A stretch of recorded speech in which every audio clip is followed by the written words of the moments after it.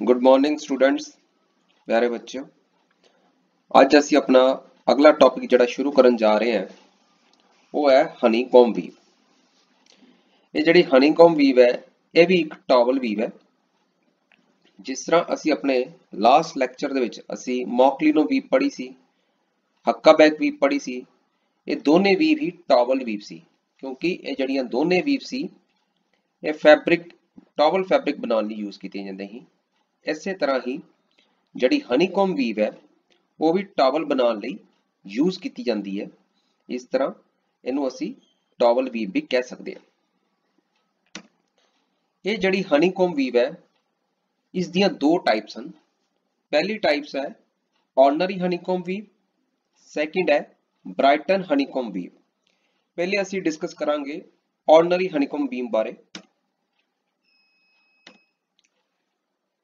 ਇਸ ordinary honeycomb weave ਦੀ certain important characteristics ਕੀ ਨੇ ਪਹਿਲੇ ਅਸੀਂ ਆਰਡਨਰੀ ਹਨੀਕੋਮ ਵੀਵ ਬਾਰੇ ਡਿਸਕਸ ਕਰਨ ਜਾ ਰਹੇ ਹਾਂ ਕਹਿ ਰਿਹਾ ਜੀ it is also a towel fabric ਇਹ ਜਿਹੜੀ ਆਰਡਨਰੀ ਹਨੀਕੋਮ ਵੀਵ ਦੇ ਦੁਆਰਾ ਜਿਹੜਾ ਕੱਪੜਾ ਬਣਦਾ ਹੈ ਉਹ ਇੱਕ ਟਾਵਲ ਫੈਬਰਿਕ ਕ੍ਰੀਏਟ ਕ੍ਰੀਏਟ ਕਰਦੀ ਹੈ ਬਣਾਉਂਦੀ ਹੈ so it comes under the category of the towel weave so as ਕਰਕੇ ਜਿਹੜੀ ਹਨੀਕੋਮ ਵੀਵ ਹੈ ਜਾਂ ਆਰਡਨਰੀ ਹਨੀਕੋਮ ਵੀਵ ਹੈ ਇਹ ਇੱਕ ਟਾਵਲ ਵੀਵ ਦੀ ਕੈਟਾਗਰੀ ਦੇ ਅੰਦਰ ਆਉਂਦੀ ਹੈ surface of the fabric is rough ਇਸ ਹਨੀਕੋਮ ਵੀਵ ਦੇ ਦੁਆਰਾ ਜਿਹੜਾ ਕੱਪੜਾ ਪ੍ਰੋਡਿਊਸ ਕੀਤਾ ਜਾਂਦਾ, ਉਹਦਾ ਜਿਹੜਾ ਸਰਫੇਸ ਹੁੰਦਾ ਰਫ ਹੁੰਦਾ ਅਸੀਂ ਜਿਹੜਾ ਲਾਸਟ ਟਾਵਲ ਫੈਬਰਿਕਸ ਵੀ ਜਿਹੜੇ ਪੜ੍ਹੇ ਸੀ huckaback weave mock leno weave ਉਹ ਵੀ ਟਾਵਲ ਫੈਬਰਿਕ ਸੀ, ਉਹਨਾਂ ਦੇ ਸਰਫੇਸ ਵੀ ਰਫ ਸੀ। ਇਸੇ ਤਰ੍ਹਾਂ ਹੀ ਇਸ ਹਨੀਕੋਮ ਵੀਵ ਦੇ ਦੁਆਰਾ ਜਿਹੜਾ ਟਾਵਲ ਫੈਬਰਿਕ ਕ੍ਰੀਏਟ ਕੀਤਾ ਜਾਂਦਾ ਉਹਦਾ ਸਰਫੇਸ ਵੀ ਰਫ ਹੁੰਦਾ। ਕੰਸਟਰਕਸ਼ਨ ਇਜ਼ ਸਿੰਪਲ ਇਸ ਵੀਵ ਦੇ ਦੁਆਰਾ ਆਰਡੀਨਰੀ ਹਨੀਕੋਮ ਵੀਵ ਦੇ ਦੁਆਰਾ ਜੇ ਅਸੀਂ ਟਾਵਲ ਫੈਬਰਿਕ ਕ੍ਰੀਏਟ ਕਰਨਾ ਚਾਹੀਏ ਤਾਂ ਉਹਦੀ ਕੰਸਟਰਕਸ਼ਨ ਬੜੀ ਸਿੰਪਲ ਹੈ। As compare to Brighton honeycomb ਜੋ ਕਿ ਇਸ ਦੀ ਦੂਸਰੀ ਟਾਈਪ ਹੈ, ਜੋ ਕਿ ਅਸੀਂ ਬਾਅਦ ਚ ਡਿਸਕਸ ਕਰਾਂਗੇ। ਸੈਕ ਅਗਲਾ ਪੁਆਇੰਟ ਇਹ ਜਿਹੜਾ ਆਰਡੀਨਰੀ ਹਨੀਕੋਮ ਵੀਵ ਜਿਹੜਾ ਟਾਵਲ ਫੈਬਰਿਕ ਬਣਦਾ ਹੈ, ਇਹ ਰਿਵਰਸੀਬਲ ਫੈਬਰਿਕ ਬਣਦਾ ਹੈ। ਠੀਕ ਹੈ। ਦੂਸਰਾ next point pointed draft is used ਇਸ ਆਰਡੀਨਰੀ ਹਨੀਕੋਮ ਵੀਵ ਨੂੰ ਬਣਾਉਣ ਲਈ ਗ੍ਰਾਫ ਪੇਪਰ ਤੇ ਅਗਰ ਇਸ ਨੂੰ ਅਸੀਂ ਬਣਾਉਣਾ ਤਾਂ straight draft sorry pointed draft use ਕੀਤਾ ਜਾਂਦਾ ਨੈਕਸਟ ਹੈ ends and picks in one repeat may be equal or unequal ਇਸ ਆਰਡੀਨਰੀ ਹਨੀਕੋਮ ਵੀਵ ਨੂੰ ਬਣਾਉਣ ਲਈ ਜਿਹੜੇ ਐਂਡਸ ਤੇ ਪਿਕਸ ਹੈ, ਉਹ ਇਕੁਅਲ ਵੀ ਹੋ ਸਕਦੇ ਨੇ ਤੇ ਅਨਇਕੁਅਲ ਵੀ ਹੋ ਸਕਦੇ ਹਨ।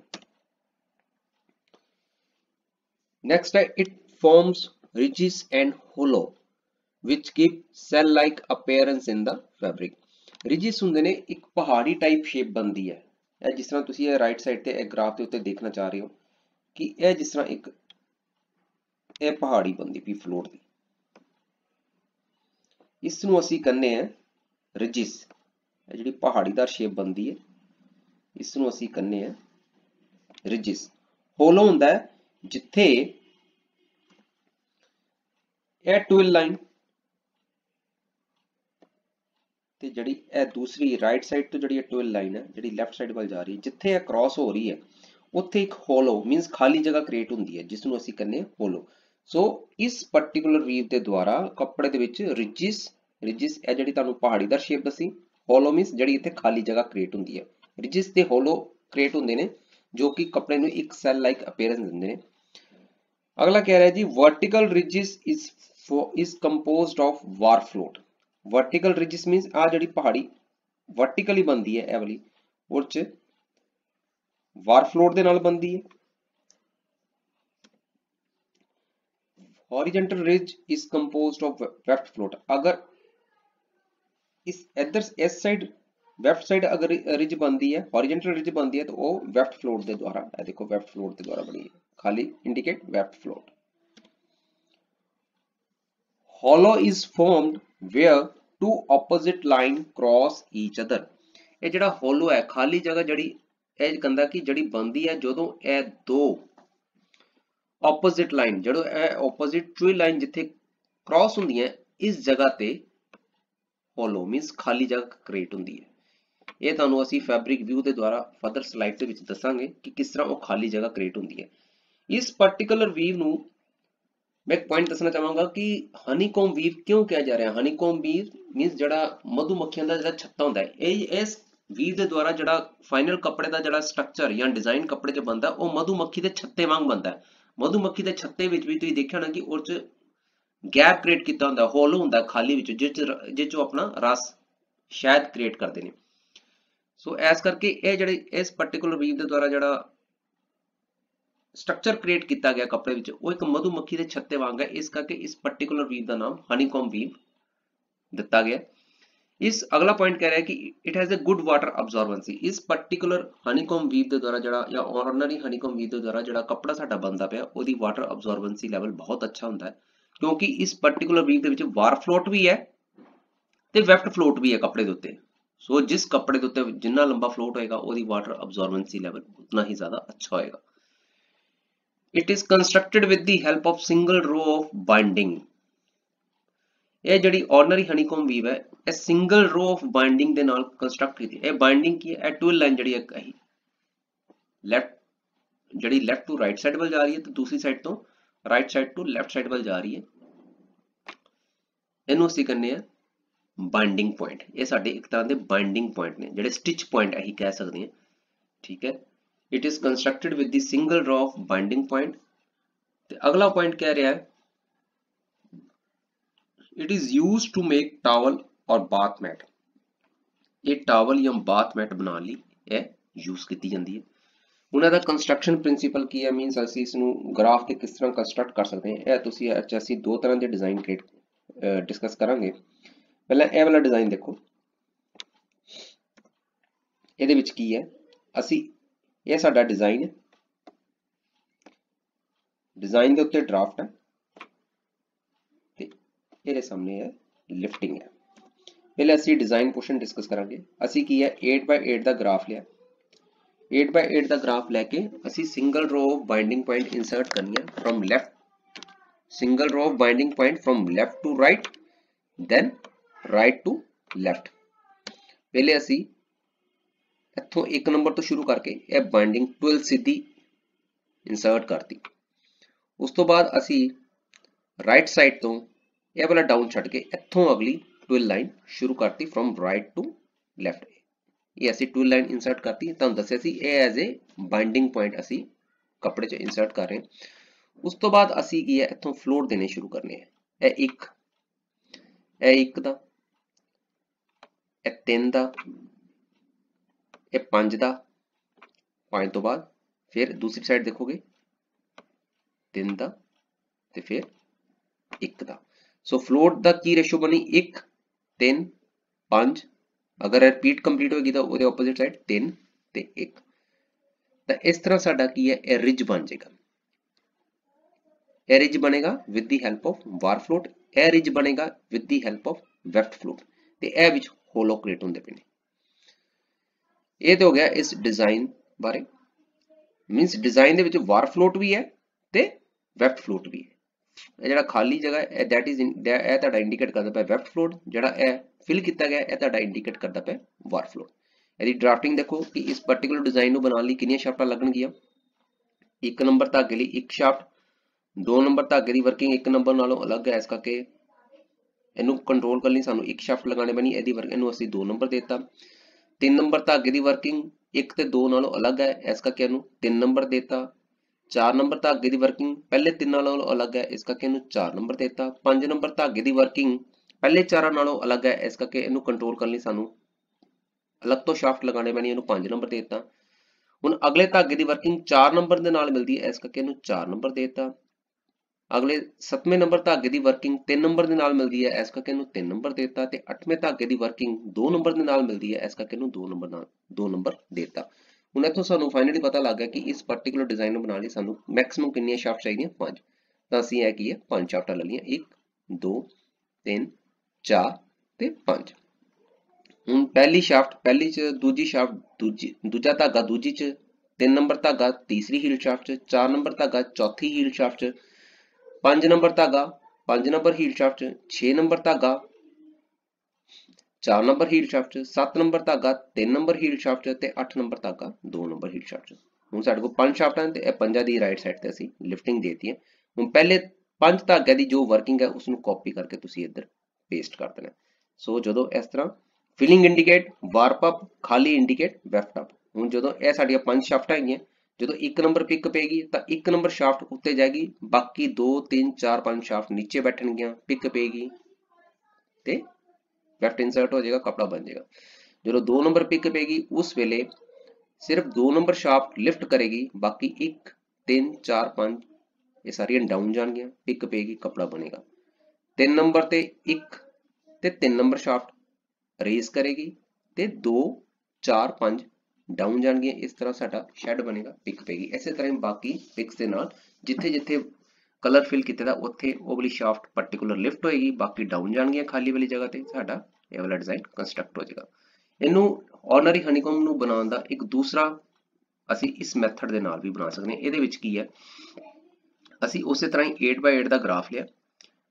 ਬਾਈਂਡਿੰਗ ਪੁਆਇੰਟ ਜਾਂ ਟੂ ਲਾਈਨ ਇਨਸਰਟ ਕੀਤੀ ਹੈ ਫਰਮ ਲੈਫਟ ਟੂ ਰਾਈਟ ਉਸ ਤੋਂ ਬਾਅਦ ਤੁਸੀਂ ਕਾਊਂਟ ਕਰਨਾ ਹੈ ਟੂਲ ਲਾਈਨ ਨੂੰ 1 2 ਇਹ 8 ਇਹ 8 ਟੋਟਲ 8 ਬਾਈਂਡਿੰਗ ਪੁਆਇੰਟ ਹੈ ਇਹਦਾ ਹਾਫ ਕਰ ਲਓ 1 2 3 4 ਚਾਰ ਇੱਥੇ ਆ ਗਏ ਇਹਨੂੰ ਇਸ ਬਾਈਂਡਿੰਗ ਪੁਆਇੰਟ ਨੂੰ ਡਾਊਨਵਰਡ ਲੈ ਜਾਓ ਉੱਤੋਂ ਕਾਊਂਟ ਕਰੋ 1 2 3 4 4 ਆ ਗਏ ਅੱਧੇ ਬਾਈਂਡਿੰਗ ਪੁਆਇੰਟ ਨੂੰ ਇਸ ਸਾਈਡ ਵੱਲ ਟਰਨ ਕਰ ਦਿਓ ਉਸੇ ਤਰ੍ਹਾਂ ਹੀ ਫਿਰ ਫਲੋਟ ਦੇ ਦਿਓ ਵਾਪਸ 1 3 5 ਦੂਸਰੀ ਸਾਈਡ ਇੱਥੋਂ ਸ਼ੁਰੂ ਕਰਕੇ 1 3 ਤੇ 5 ਹੁਣ ਤੁਸੀਂ ਦੇਖੋਗੇ ਕਿ ਇਹ 8 ਦੇ 8 ਧਾਗੇ ਦੀ ਜਿਹੜੀ ਵਰਕਿੰਗ ਹੈ, ਇੱਕ ਦੂਸਰੇ ਨਾਲੋਂ ਅਲੱਗ ਹੈ। ਮੀਨਸ ਇੱਕ ਰਿਪੀਟ ਦੇ ਵਿੱਚ 8 ਧਾਗੇ ਇੱਕ ਦੂਸਰੇ ਨਾਲੋਂ ਅਲੱਗ ਕੰਮ ਕਰਦੇ ਪਏ ਨੇ। ਸੋ ਇਸ ਕਰਕੇ ਸਾਨੂੰ ਇਸ ਪਾਰਟਿਕੂਲਰ ਡਿਜ਼ਾਈਨ ਨੂੰ ਬਣਾਉਣ ਲਈ। 8 ਸ਼ਾਫਟਾਂ ਯੂਜ਼ ਕਰਨੀ ਪੈਣਗੀਆਂ। ਆਬਵੀਅਸਲੀ ਇੱਕ ਰਿਪੀਟ ਦੇ ਵਿੱਚ ਅਗਰ 8 ਧਾਗੇ ਮੈਂ ਤੁਹਾਨੂੰ ਦੱਸਿਆ, ਜਿੰਨੇ ਇੱਕ ਰਿਪੀਟ ਦੇ ਵਿੱਚ ਜਿੰਨੇ ਧਾਗੇ ਅਲੱਗ ਕੰਮ ਕਰਨਗੇ, ਸਾਨੂੰ ਉਨੀਆਂ ਸ਼ਾਫਟਾਂ ਯੂਜ਼ ਕਰਨੇ ਪੈਣੀਆਂ ਇੱਥੇ ਇੱਕ ਰਿਪੀਟ ਦੇ ਵਿੱਚ 8 ਤੇ 8 ਧਾਗੇ ਇੱਕ ਦੂਸਰੇ ਨਾਲੋਂ ਅਲੱਗ ਕੰਮ ਕਰਦੇ ਪਏ ਨੇ। ਇਸ ਕਰਕੇ ਸਾਨੂੰ 8 ਸ਼ਾਫਟਾਂ ਯੂਜ਼ ਕਰਨੀ ਪਈਆਂ ਤਾਂ ਉੱਥੇ ਡਰਾਫਟ ਸਾਡਾ ਆਉਂਦਾ ਸਟੇਟ ਜਿੱਥੇ ਡਰਾਫਟ ਸਟੇਟ ਆ ਜਾਏ ਉੱਥੇ ਲਿਫਟਿੰਗ ਸੇਮ ਐਸ ਡਿਜ਼ਾਈਨ ਹੋ ਜਾਂਦੀ ਹੈ। ਜੋ ਡਿਜ਼ਾਈਨ ਉਹੀ ਸੇਮ ਲਿਫਟਿੰਗ ਹੋ ਜਾਂਦੀ ਹੈ। ਇਹ ਸੀ ਸਾਡਾ ਆਰਡਨਰੀ ਹਨੀਕੋਮ ਨੂੰ ਗ੍ਰਾਫ ਤੇ ਅਸੀਂ ਕਿਸ ਤਰ੍ਹਾਂ ਕੰਸਟਰਕਟ ਕਰ ਸਕਦੇ ਹਾਂ, ਇਹ ਸਾਰਾ ਉਹਦਾ ਪ੍ਰੋਸੀਜਰ ਸੀ। ਅਗਲੀ ਸਾਡੀ ਇਹਦੀ 2 ਨੰਬਰ ਟਾਈਪ ਹੈ, that is your character sketch of Brighton honeycomb weave Brighton honeycomb ਵੀ, ਕਿਉਂਕਿ ਇਹ ਵੀ ਟਾਵਲ ਫੈਬਰਿਕ ਬਣਾਉਂਦੀ ਪਈ ਹੈ, ਇਸ ਕਰਕੇ ਇਹ ਕੱਪੜੇ ਦਾ ਇਹਦਾ ਵੀ ਜਿਹੜਾ ਸਰਫੇਸ ਹੈ, ਕੱਪੜੇ ਦਾ ਜਿਹੜਾ ਸਰਫੇਸ ਹੈ ਟਾਵਲ ਦਾ ਜਿਹੜਾ ਸਰਫੇਸ ਹੈ, ਉਹ ਰਫ ਸਰਫੇਸ ਹੀ ਹੁੰਦਾ ਹੈ। ਇਹ ਵੀ ਆਰਡਨਰੀ ਹਨੀਕੋਮ ਦੇ ਵਾਂਗ ਰਿਵਰਸੇਬਲ ਫੈਬਰਿਕ ਬਣਾਉਂਦੀ ਹੈ। As compare to ordinary honeycomb construction is complex ordinary honeycomb ਦੇ ਨਾਲੋਂ ਇਹਦੀ ਕੰਸਟਰਕਸ਼ਨ ਥੋੜੀ ਮੁਸ਼ਕਿਲ ਹੈ ਥੋੜੀ ਕੰਪਲੈਕਸ ਹੈ। Number of ends and picks in a repeat is always equal ਇਸ ਪਾਰਟਿਕੂਲਰ ਬ੍ਰਾਈਟਨ ਹਨੀਕੋਮ ਦੇ ਵਿੱਚ ਜਿਹੜੇ ਐਂਡਸ ਤੇ ਪਿਕ ਹੈ, ਉਹ ਹਮੇਸ਼ਾ ਬਰਾਬਰ ਹੁੰਦੇ ਨੇ। ਪਰ ਆਰਡਨਰੀ ਹਨੀਕੋਮ ਦੇ ਵਿੱਚ ਕੀ ਸੀ? ਕਿ ਉਹਦੇ ਵਿੱਚ ਐਂਡਸ ਤੇ ਪਿਕਸ ਇਕੁਅਲ ਵੀ ਹੋ ਸਕਦੇ ਨੇ ਅਨਇਕੁਅਲ ਵੀ ਹੋ ਸਕਦੇ ਨੇ। ਬਟ ਬ੍ਰਾਈਟਨ ਹਨੀਕੋਮ ਦੇ ਵਿੱਚ ਜਿਹੜੇ ਸਾਡੇ ਐਂਡਸ ਐਂਡ ਪਿਕਸ ਇੱਕ ਰਿਪੀਟ ਦੇ ਵਿੱਚ ਉਹ ਹਮੇਸ਼ਾ ਇਕੁਅਲ ਹੁੰਦੇ ਨੇ। ਉਸੇ ਤਰ੍ਹਾਂ ਹੀ it is produced by straight draft ਇਹ ਇਸ ਨੂੰ ਬਣਾਉਣ ਲਈ ਅਸੀਂ ਹਮੇਸ਼ਾ ਸਟੇਟ ਡਰਾਫਟ ਦਾ ਯੂਜ਼ ਕਰਦੇ ਹਾਂ ਬਟ ਆਰਡਨਰੀ ਹਨੀਕੋਮ ਦੇ ਵਿੱਚ ਨੂੰ ਕੰਸਟਰਕਟ ਕਰਨ ਲਈ ਅਸੀਂ ਪੁਆਇੰਟਡ ਡਰਾਫਟ ਯੂਜ਼ ਕਰਦੇ ਸੀ। It is constructed with the help of double row of binding point ਇਸ ਬ੍ਰਾਈਟਨ ਹਨੀਕੋਮ ਨੂੰ ਕੰਸਟਰਕਟ ਕਰਨ ਲਈ ਅਸੀਂ double row of binding point use ਕਰਦੇ ਹਾਂ ਬਟ ਆਰਡਨਰੀ ਹਨੀਕੋਮ ਦੇ ਵਿੱਚ ਅਸੀਂ single row of binding point use ਕਰਦੇ ਸੀ। Number of thread in a repeat should be multiple of 4 ਇਸ ਦੇ ਵਿੱਚ ਜਿੰਨੇ ਵੀ ਧਾਗੇ ਅਸੀਂ ਇੱਕ ਰਿਪੀਟ ਦੇ ਵਿੱਚ ਯੂਜ਼ ਕਰਨੇ ਆ, ਉਹ ਸਾਡੇ it should be multiple of 4 ਦੇ ਹੋਣੇ ਚਾਹੀਦੇ ਹਨ। ਅਸੀਂ ਇਸ ਪਾਰਟਿਕੂਲਰ ਡਿਜ਼ਾਈਨ ਦੇ ਵਿੱਚ ਫਲੋਟ ਦੀ ਲੈਂਥ ਕਿਸ ਤਰ੍ਹਾਂ ਕੈਲਕੂਲੇਟ ਕਰਾਂਗੇ? ਮੰਨ ਲਓ ਸਾਡੇ ਕੋਲ ਰਿਪੀਟ ਸਾਈਜ਼ ਦੇ ਵਿੱਚ 16 ਧਾਗੇ 16 ਨੂੰ ਡਿਵਾਈਡ ਕੀਤਾ 2 ਦੇ ਨਾਲ ਸਾਡੇ ਕੋਲ ਆ ਗਏ x x ਆ ਗਿਆ ਸਾਡੇ ਕੋਲ 16 ਡਿਵਾਈਡਡ 2 ਕਿੰਨਾ ਆ ਗਿਆ 8 so x is x is equal to 8 ਅੱਗੇ ਕੀ ਹੈ x 1 means 8 1 is equal to float length 8 1 is equal to 7 ਉਹ ਸਾਡੀ float length ਆ ਜਾਏਗੀ ਤੇ it is also used to make towel and bath mat ਇਹ ਵੀ ਸਾਡਾ ਜਿਹੜਾ ਇਹ ਜਿਹੜਾ ਬੈਟਨ ਹਨੀਕੋਮ ਦੇ ਦੁਆਰਾ ਜਿਹੜਾ ਕਪੜਾ ਬਣਦਾ ਹੈ ਇਹ ਵੀ ਟਾਵਲ ਤੇ ਬਾਥ ਮੈਟ ਬਣਾਉਣ ਲਈ ਯੂਜ਼ ਕੀਤਾ ਜਾਂਦਾ। ਅਸੀਂ ਆਪਣੀ ਨੈਕਸਟ ਸਲਾਈਡ ਦੇ ਵਿੱਚ ਬ੍ਰਾਈਟਨ ਹਨੀਕੋਮ ਨੂੰ ਗ੍ਰਾਫ ਪੇਪਰ ਤੇ ਕਿਸ ਤਰ੍ਹਾਂ ਕੰਸਟਰਕਟ ਕਰ ਸਕਦੇ ਹਾਂ, ਅਸੀਂ ਉਹ ਵਾਲਾ ਪ੍ਰੋਸੀਜਰ ਅਸੀਂ ਫਰਦਰ ਡਿਸਕਸ ਕਰਾਂਗੇ। ਹੁਣ ਅਸੀਂ ਇਸ ਬ੍ਰਾਈਟਨ ਹਨੀਕੋਮ ਡਿਜ਼ਾਈਨ ਦੇ ਵਿੱਚ ਅਸੀਂ 16 ਮੈਂ 16 ਦਾ ਗ੍ਰਾਫ ਲਿਆ। 16 ਐਂਡ ਤੇ 16 ਪਿਕ ਤੁਹਾਨੂੰ ਦੱਸਿਆ ਗਿਆ ਹੈ ਕਿ ਇਸ ਬ੍ਰਾਈਟਨ ਹਨੀਕੋਮ ਨੂੰ ਕੰਸਟਰਕਟ ਕਰਨ ਲਈ ਅਸੀਂ double row of binding point insert ਕਰਦੇ ਹਾਂ ਪਹਿਲੇ ਅਸੀਂ ਸਿੰਪਲ ਬਾਈਂਡਿੰਗ ਪੁਆਇੰਟ ਇਨਸਰਟ ਕੀਤੇ ਫਰਮ ਲੈਫਟ ਟੂ ਰਾਈਟ ਉਸ ਤੋਂ ਬਾਅਦ ਅਸੀਂ from right side to left side double row of binding point insert ਕਰਾਂਗੇ ਇਹ ਇਨਸਰਟ ਕਰਨ ਤੋਂ ਬਾਅਦ ਤੁਹਾਨੂੰ ਮੈਂ ਦੱਸਿਆ ਸੀ ਕਿ ਇਹਦੀ ਇਹਦੀ ਫਲੋਟ ਲੈਂਥ ਇਸ ਬ੍ਰਾਈਟਨ ਹਨੀਕੋਮ ਦੇ ਵਿੱਚ ਅਸੀਂ ਕਿਸ ਤਰ੍ਹਾਂ ਕੈਲਕੂਲੇਟ ਕਰ ਸਕਦੇ ਹਾਂ 16 ਬਾਈ 16 ਦਾ ਡਿਜ਼ਾਈਨ ਹੈ 16 ਡਿਵਾਈਡਡ 2 ਕਿੰਨਾ ਆ ਗਿਆ 8 8 1 ਕਿੰਨਾ ਆ ਗਿਆ? 7 ਸੋ ਇਸ ਪਾਰਟਿਕੂਲਰ ਡਿਜ਼ਾਈਨ ਦੇ ਵਿੱਚ ਜਿਹੜੀ ਜਿਹੜੀ ਸਾਡੀ ਫਲੋਟ ਲੈਂਥ ਹੋਏਗੀ that it will be maximum 7 ਹੁਣ ਤੁਸੀਂ ਇਹ ਦੇਖੋ, ਇੱਥੋਂ ਸ਼ੁਰੂ ਹੋ ਕੇ ਰੈੱਡ ਨੂੰ ਵਿੱਚ ਲੈ ਕੇ ਟੋਟਲ ਸਾਡੇ ਬੰਦੀ ਫਲੋਟ ਲੈਂਥ 7 1 2 3 4 5 6 ਤੇ 7 ਉਸੇ ਤਰ੍ਹਾਂ ਮੈਕਸਿਮਮ ਫਲੋਟ ਲੈਂਥ ਇਹ ਵੀ 7 ਦੀ ਹੈ। ਰੈੱਡ ਨੂੰ ਇਨਕਲੂਡ ਕਰਕੇ ਫਿਲਿੰਗ ਇੰਡੀਕੇਟਰ ਪਾਰਫਕ ਇਹ ਵੀ ਮੈਕਸਿਮਮ 7 ਦੀ ਹੈ ਤੇ ਇਹ ਵੀ ਮੈਕਸਿਮਮ 7 ਦੀ ਹੈ। ਸੋ ਸਾਡੇ ਇਸ ਪਾਰਟਿਕੂਲਰ ਡਿਜ਼ਾਈਨ 'ਚ ਮੈਕਸਿਮਮ ਫਲੋਟ ਲੈਂਥ 7 ਦੀ ਹੈ। ਹੁਣ ਅਸੀਂ ਰਿਜਿਸ ਬਣਾਉਣੀ ਹੈ। ਇਹ ਤੁਹਾਡੀਆਂ ਰਿਜਿਸ ਨੇ। ਇੱਕ ਹੈ ਰਿਜਿਸ ਹੈ, ਇੱਕ ਹੈ ਰਿਜਿਸ ਹੈ, ਜਿਹਨੂੰ ਅਸੀਂ ਪਹਾੜੀਆਂ ਵੀ ਕਹਿੰਦੇ ਨੇ ਇਹ ਰਿਜਿਸ ਹੈ, ਇਹ ਰਿਜਿਸ ਹੈ, ਇਹ ਰਿਜਿਸ ਹੈ ਤੇ ਇਹ ਰਿਜਿਸ ਹੈ। ਇਹ ਰਿਜਿਸ ਅਸੀਂ ਕਿਸ ਤਰ੍ਹਾਂ ਬਣਾਉਣੀ ਹੈ? 1 3 5 7 5 3 1 ਇਸ ਪੈਟਰਨ ਦੇ ਵਿੱਚ ਅਸੀਂ ਐਵਰੀ ਰਿਜਿਸ ਬਣਾਵਾਂਗੇ। ਪਹਿਲੇ ਇਸ ਨੂੰ ਦੇਖੋ ਇਸ ਰੈੱਡ ਵਾਲੇ ਨੂੰ ਇਨਕਲੂਡ ਕਰਕੇ ਇਹ 1 ਰੈੱਡ ਵਾਲੇ ਨੂੰ ਲੈ ਕੇ 3 5 7 7 ਮੈਕਸਿਮਮ ਫਲੋਟ ਆ ਗਿਆ ਹੁਣ ਡਿਕਰੀਜ਼ਿੰਗ ਆਰਡਰ ਬੈਕ ਚ ਚੱਲ ਪੋ 7 ਤੋਂ ਬਾਅਦ ਫਿਰ 5 3 ਤੇ 1 ਇਸੇ ਤਰ੍ਹਾਂ ਇਹਦੇ ਸਾਹਮਣੇ ਇਹਨੂੰ ਇਹ 1 3 5 7 7 ਮੈਕਸਿਮਮ ਆ ਗਿਆ ਉਸ ਤੋਂ ਬਾਅਦ ਫਿਰ ਰਿਵਰਸ ਚੱਲ ਪੋ 5 3 ਤੇ 1 ਉਸ ਤੋਂ ਬਾਅਦ ਇਹ ਵਾਲਾ ਵੀ ਮੈਕਸਿਮਮ ਰੈਡ ਨੂੰ ਇਨਕਲੂਡ ਕਰਕੇ 7 ਇਹਨੂੰ ਲੈ ਕੇ 5 ਇਹਨੂੰ ਲੈ ਕੇ 3 ਤੇ ਇਹ 1 ਉਸ ਤੋਂ ਬਾਅਦ ਇਹਦੇ ਆਪੋਜ਼ਿਟ ਇਹਨੂੰ ਲੈ ਕੇ 7 5 3 ਤੇ 1 7 ਦਾ ਮੈਕਸਿਮਮ ਉੱਤੇ ਹੈ ਇਟ ਮੀਨਸ ਉਹਦੇ ਸਾਹਮਣੇ ਨੀਚੇ ਬੈਕ ਸਾਈਡ ਤੇ 5 ਦਾ ਹੈਗਾ ਇਹ 5 ਦਾ ਆ ਗਿਆ 5 3 1 ਇੱਥੇ ਵੀ 7 ਦਾ ਹੈਗਾ ਉੱਥੇ 5 ਦਾ ਹੈਗਾ 5 3 ਤੇ 1 ਹੁਣ ਇਸ ਰਿਪੀਟ ਦੇ ਵਿੱਚ ਜਿਹੜੇ 16 ਧਾਗੇ ਨੇ, ਇਹ 16 ਦੇ 16 ਧਾਗੇ 16 ਦੇ 16 ਧਾਗੇ ਇੱਕ ਦੂਸਰੇ ਨਾਲੋਂ ਅਲੱਗ ਕੰਮ ਕਰਦੇ ਪਏ ਨੇ। ਸੋ ਆਬਵੀਅਸਲੀ ਹੈ ਕਿ ਅਗਰ ਇੱਕ ਡਿਜ਼ਾਈਨ ਦੇ ਵਿੱਚ ਜਿੰਨੇ ਨੰਬਰ ਆਫ ਥ੍ਰੈਡ ਇੱਕ ਦੂਸਰੇ ਨਾਲੋਂ ਅਲੱਗ ਕੰਮ ਕਰਨਗੇ, ਸਾਨੂੰ ਉਸ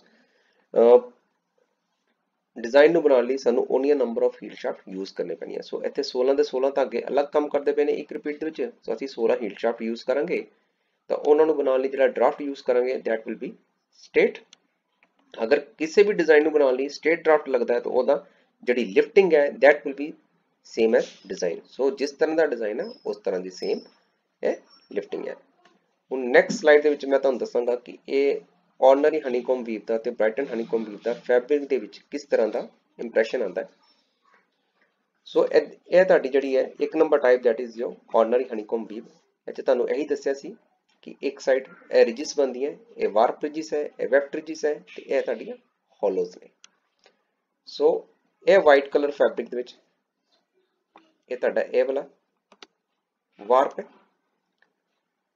ਜਿਹੜੀਆਂ ਇਹ ਵੈਫਟ ਰਿਜਿਸ ਰਾਹੀਂ ਬਣਿਆ, ਉਹ ਸਾਡਾ ਇਹ ਗ੍ਰੇ ਕਲਰ ਇੰਡੀਕੇਟ ਕਰ ਰਿਹਾ। ਸੋ ਇਹ ਵਾਰ ਫਲੋਟ ਇਹ ਵੈਫਟ ਫਲੋਟ ਇਹ ਦੇਖੋ ਵਾਈਟ ਕਲਰ ਦਾ ਵਾਰ ਫਲੋਟ ਤੇ ਗ੍ਰੇ ਕਲਰ ਦਾ ਵੈਫਟ ਫਲੋਟ ਤੇ ਇੱਥੇ ਤੁਹਾਡਾ ਹੋਲੋ ਕ੍ਰੀਏਟ ਹੋ ਰਿਹਾ। ਇਸ ਜਗ੍ਹਾ ਤੇ। ਆ ਦੇਖੋ ਰਾਈਟ ਸਾਈਡ ਤੇ। ਇਹ ਵਾਰ ਫਲੋਟ ਇਹ ਵੈਫਟ ਫਲੋਟ ਤੇ ਆ ਹੋਲੋ ਖਾਲੀ ਜਗ੍ਹਾ ਕ੍ਰੀਏਟ ਹੋ ਰਹੀ ਹੈ। ਉਸੇ ਤਰ੍ਹਾਂ ਹੀ ਆ ਤੁਹਾਡਾ 2 ਨੰਬਰ ਡਿਜ਼ਾਈਨ ਤੁਹਾਡਾ ਬ੍ਰਾਈਟਨ ਹਨੀਕੋਮ ਦਾ।